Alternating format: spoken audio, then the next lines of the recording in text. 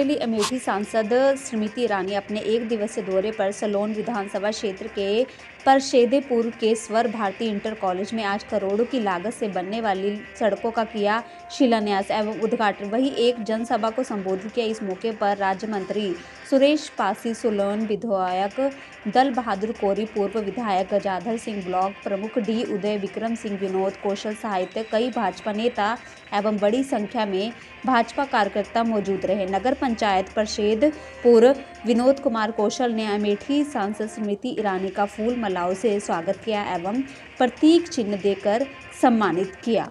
नहीं, दीदी बनकर आपकी सेवा का सौभाग्य प्राप्त हुआ है। यूँ ही आपकी सेवा करने में सदैव तत्पर रहूँ। आज जनता जनार्दन से यही आशीर्वाद मांगती हूँ। बड़ों के चरणों में प्रणाम करती हूँ। छोटों को बहुत स्नेह देती हूँ। आप सबका एक बार फिर वंदन एवं अभिनंदन करती हूँ।